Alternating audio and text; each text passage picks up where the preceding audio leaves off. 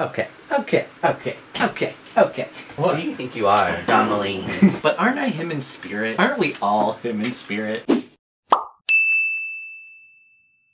Hey you guys, it's Kyian, and yes, I'm finally back with a new edition of DIY, the show where we DIY UI, which of course is short for Do It Yourself Under the Influence. And I know it's been a while since I've done one of these, but I'm back. I cracked open a fresh bottle of red, and I'm coming to you guys today with a DIY that is fresh off a red carpet. As you may or may not know, the American Music Awards were this past weekend, and I think we can all agree that the showstopper of the night was not Shawn Mendes and Camila Cabello almost kissing on stage in a aggressively heterosexual performance. No, no, no. Everyone's eyes were on someone else, or rather, something else. And that was Lizzo and her tiny purse. Now this bag went viral like immediately, apparently even spawning its own Twitter account. This tiny purse is a big deal. It is reported to have cost anywhere from 258 to $500. I don't, I don't understand.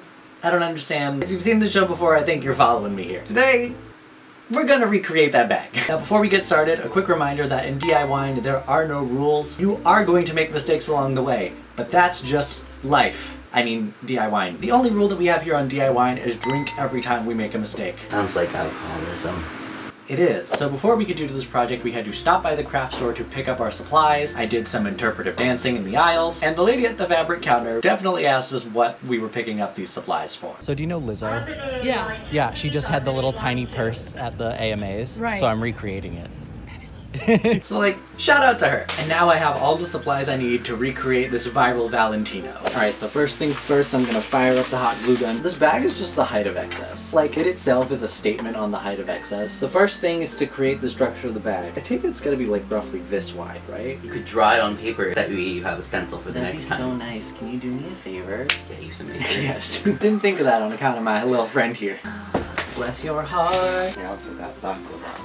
Enjoy. You've earned it. Referring to my visual references, I think I need to make one long flap that's gonna fold over to create the top. The same shape, but only half of that. And then I'll sort of like sandwich this one sort of like strip piece between the two, if that makes any sense. It makes sense in my brain. I'm gonna make it real. You just watch. I'm gonna draw a rectangle with some roundy edges, like a rectangle that has a butt. Oh, those corners are not even. they don't match. There's a better way to do this. I'm gonna just cut a rectangle. The lines aren't straight and neither am I. And now I'm gonna fold it and we're gonna fold it like this. And then we're gonna cut these corners rounded like, I guess something that looks a little like this. Let's draw the front of the bag, cut it out, cut it, cut it, cut it out. I feel like it's much smaller. So we've come to the conclusion that it's gonna be too big, so I'm gonna cut it down a little. I don't know if this is gonna work. I just want the tiny part. I need to make it because it's dumb and unnecessary. And that means I need to have it. We got our shapes, guys. Should make it fit a lipstick, and that's it. Wow, you smell uh, lipstick in my Valentino white. So now I think it's time to transfer our stencils to the leather. Oh, I just threw one of my stencils on the floor thinking it was a scrap. You know, as Lizzo once said, it ain't my fault. Gotta blame it on my juice. And here on DIY and frankly, that's a philosophy we like to live by. What do you think about award shows? Oh, I love them. They really are like my Super Bowl. When I still lived at home and had cable, I would live tweet them like they were sporting events. And now and then those tweets come up in my Timehop and I'm like, damn, I remember that. you know, you guys may not know this, but a few months back, Sam and I actually walked a red carpet at Grauman's Chinese Theater. In hindsight, I really wish I had a bag like this to incorporate with that outfit. The Lizzo's out here making power moves with a tiny purse. Who could ever? Frankly. I think we have all the main pieces. Oh wait, no I forgot the strap. It's not a mistake. That's an artistic choice. you know, all great artists drink. ah, okay, it's starting to take shape. I'm getting really excited. Now, obviously, this is faux leather because we don't stand animal cruelty in this house. Right, I got the main pieces for the structure of the bag, and I just dropped all my hot glue sticks. That definitely counts as a drink. Okay. Why do you bully me like this? Now I'm to take this little rim that I created I'm to glue it to the inside of the bag in a little U shape. I obviously can't sew, so I'm just to be gluing this purse together with some hot glue. Here at DIY, we are on a budget. And also, we went to public school and didn't learn any useful life skills. Oh, it's uneven. Oh, that's a drink, guys. Snip the other side off. Mazel tov. You appreciated that, didn't you? Yes. Thought you would. That was for you, baby. Wow, look. Fashion, function, beauty, grace. Did Lizzo's purse actually open? I don't think Ooh. yours is gonna. What I could do is I have some pinbacks. You know what I mean? Yeah. Okay. Ooh, it's gonna be functional too. I'm so excited. So I have some pinbacks. I took one of these rectangular rings and sort of bent it in with some pliers and I painted it white to make that little V buckle on the front of the bag. We put this on the front and then just glue the pin to the fabric. It looks like an actual thing. The bag also has a little strap, so I'm gonna make a little strap. That scared me.